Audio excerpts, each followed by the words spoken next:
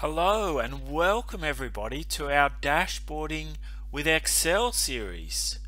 My name is Marcus Small and I own a website called thesmallman.com. Alright, what are we going to do in this series? Well, firstly, we're going to have a look at dashboarding in the context of correct layout. How do you structure your dashboard? And when you get to the design phase, what do you need to do? Where do you put your tables? Where do you put your charts? How can you be consistent? We're going to go through the creation of formula using a one cell to rule them all methodology. So if you change that single cell, everything changes. We're going to set up the dashboard so it looks clean. It's clear it's consistent and it tells a compelling story. And if you follow my methodology, you'll be able to do this time and time again. We're going to add all the bells and whistles. We're going to add things like slices, option buttons, combo boxes. We're going to put in all the conditional formatting and we're going to do a whole lot more than that.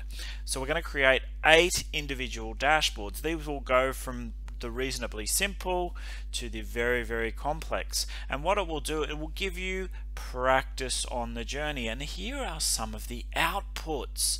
So we're going to create a balanced scorecard and then a range of Excel dashboards from uh, these ones right here where we spin the dashboard based on a unique VBA procedure. So all you have to do is roll over the cells that you need and the dashboard will change. I'll show you how to create some interesting charts so you can display the data in a unique and compelling way.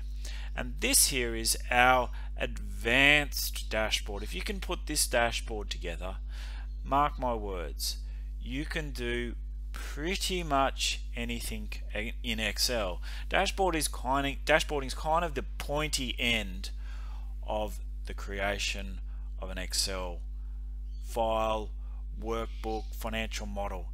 It displays those things that are most important. And if you can do that in a clear and logical way, you can get your message across seamlessly.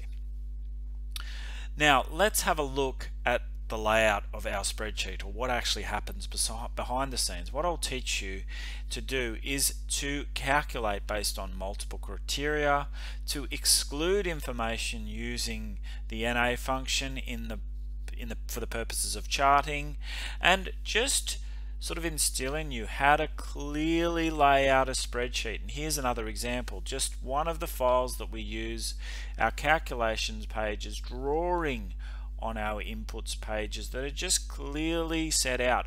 It is my view that you do all of your heavy lifting in the calculations pages.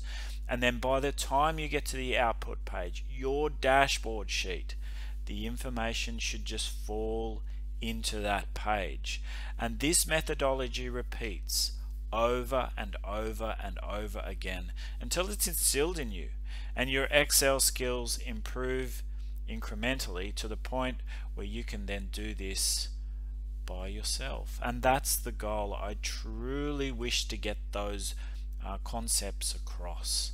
So you can produce dashboards just like the ones that I've got on my website and you can do them in your own time and thinking about the things that I'll teach you how to set up a spreadsheet how to clearly structure your data and how to get the information to fall in the dashboard with very little effort indeed.